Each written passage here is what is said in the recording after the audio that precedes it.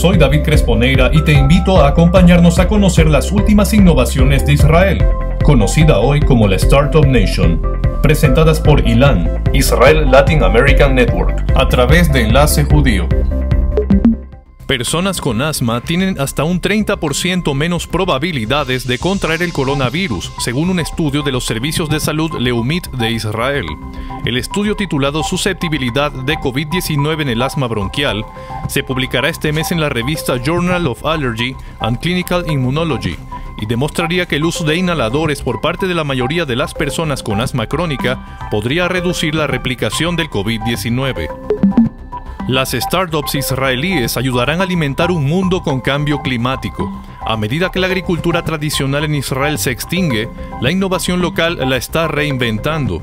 Un informe de AgFounder, la compañía de información líder en el mundo en el campo de desarrollos innovadores en agricultura y alimentos, clasificó a Israel entre los cinco países principales del mundo este año en iniciativas de innovación y avances en la industria de tecnología agrícola se utilizará tecnología israelí contra las algas para salvar vías fluviales de Florida.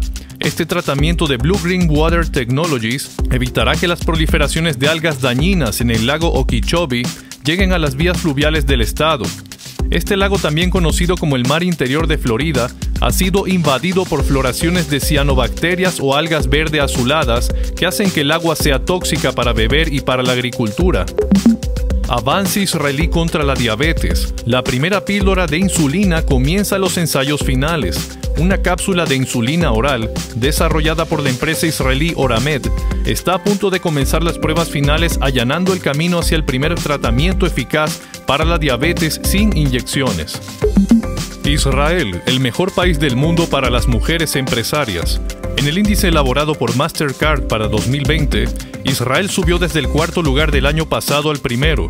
El informe dice que las mujeres a nivel mundial han sacado adelante la mayor parte de la pandemia.